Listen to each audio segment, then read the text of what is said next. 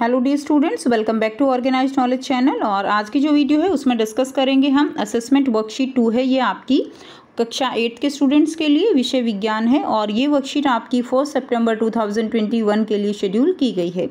आज की जो वर्कशीट है बच्चों, उसमें हम ये जो टेस्ट है आपका, उसको डिस्कस करेंगे।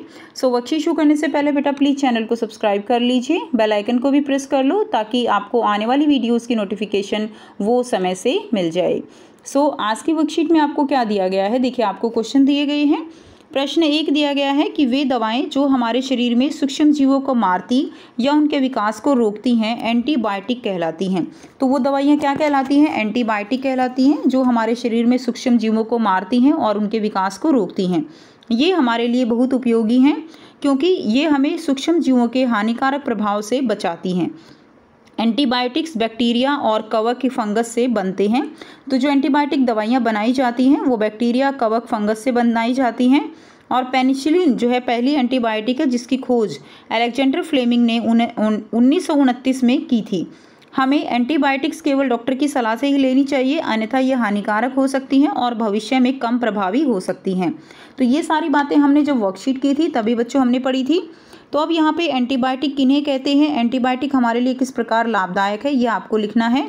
सो so, यहीं पे आपका आंसर दिया गया है वे दवाएँ जो हमारे शरीर में सूक्ष्म जीवों को मारती हैं और उनके विकास को रोकती हैं एंटीबायोटिक कहलाती हैं और ये हमारे शरीर के लिए बहुत उपयोगी हैं क्योंकि ये सूक्ष्म जीवों को हानिकारक प्रभाव से बचाती हैं। तो यहाँ से लेकर और यहाँ तक आप इसका आंसर लिख देंगे। क्लियर? तो ये आपका प्रश्न एक का आंसर हो जाएगा।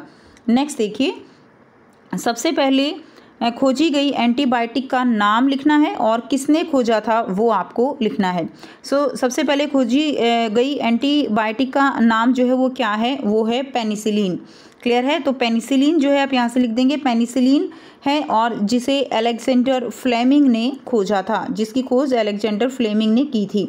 तो यहाँ पे आप अलेक्जेंडर फ्लेमिंग लिख देंगे और यहाँ पे आप लिख देंगे पेनिसिलिन। क्लियर है स्टूडेंट्स? तो यहाँ से आप इसका आंसर कर लेंगे। नेक्स्ट देखिए।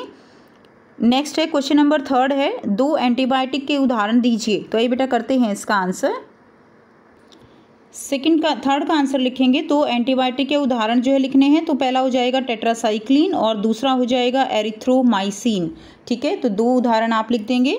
नंबर फोर देखिए, हमें केवल डॉक्टर की सलाह के बाद ही एंटीबायोटिक क्यों लेनी चाहिए? तो आपको लिखना है कि डॉक्टर की सलाह पर ही क्यों लेनी चाहिए? तो हमें डॉक्टर की सलाह से ही प्रतिजैविक लेनी चाहिए। अन्यथा यह नुकसानदायक हो सकता है और डॉक्टर द्वारा निर्धारित कोर्स को पूरा करना चाहिए। क्लियर है? तो यहाँ से आप इसका आंसर लिख देंगे कि डॉक्टर जो बताता है, जितने दिन के लिए एंटीबायोटिक लेने के लिए बोलता है, उतने ही दिन हमें इसका कोर्स पूरा करना चाहिए। नंबर फिफ्थ है, जीवाणु और विषाणु से होने वाली एक एक बीमारी का नाम आपको लिखना है। तो जीवाणु से फैलने वाला रोग आप लिखेंगे टीबी कॉलेरा, ठीक है? विषाणु से फैलने वाला रोग लिखेंगे कोरोना और पोलियो। क्लियर तो ये जो है आप लिख देंगे विषाणु से फैलने वाले रोग और ये हो जाएँगे जीवाणु से फैलने वाले रोग। नेक्स्ट देखिए क्वेश्चन नंबर सिक्स है। नेक्स्ट आपको क्वेश्चन नंबर टू दिया गया है रिक्त स्थान भरने हैं। सो so, ए दिया गया है लाइकेन सहजीविता का उदाहरण है जिसमें शैवाल और कवक दो सूक्ष्म जीव उपस्थित होते हैं। तो आप यहाँ से कंप्लीट कर लेंगे कि लाइकेन वो क्या है सहजीविता का उदाहरण है जिसमें शैवाल और कवक दो सूक्ष्म जीव उपस्थित होते हैं। बी देखिए, डैश एक अनोखे प्रकार का सूक्ष्म जीव है जो केवल किसी जीव के अंदर रहने पर ही जनन करता है। तो वो क्या है? वायरस। वायरस यानी क्या कहेंगे इसको हम? विषाणु। विषाणु, जैसे कोरोना विषाणु है तो वायरस एक अनोखे प्रकार का क्या है? एक सूक्ष्म जीव है जो किसी जीव के अंदर रहकर उसके बाद जो है वो जनन करता है। सी दिया गया है, सूक्ष्म जीवों को चार समूहों, जैसे जीवाणु, कवक, प्रोटोजोआ, शैवाल में वर्गीकृत किया गया है। तो चौथी कैटेगरी क्या है? इसकी शैवाल है।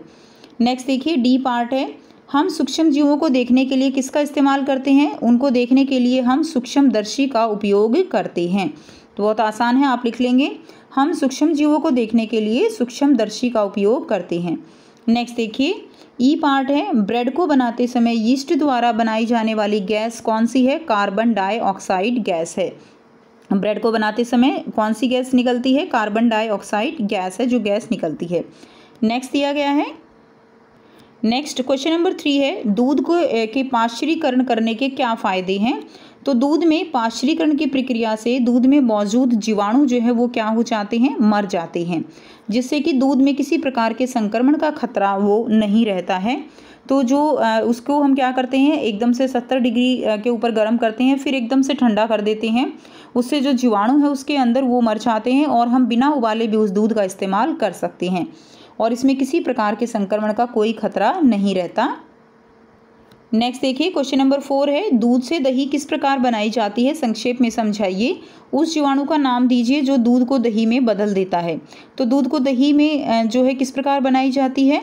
हल्के गर्म दूध में थोड़ा सा दही मिलाने से वह दही में परिवर्तित हो जाता है तथा दही बनने में लैक्टोबैसिलस नामक जीवाणु जो है वो पाया जाता है। तो दही में कौन सा जीवाणु है? लैक्टोबैसिलस जिसके कारण जो दही है वो जमती है।